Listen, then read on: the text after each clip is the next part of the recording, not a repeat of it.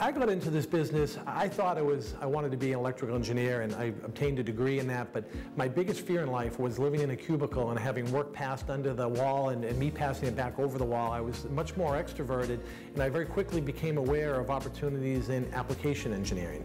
And then I realized how technical the sale was in, in this industry and so it led me into sales and sales management.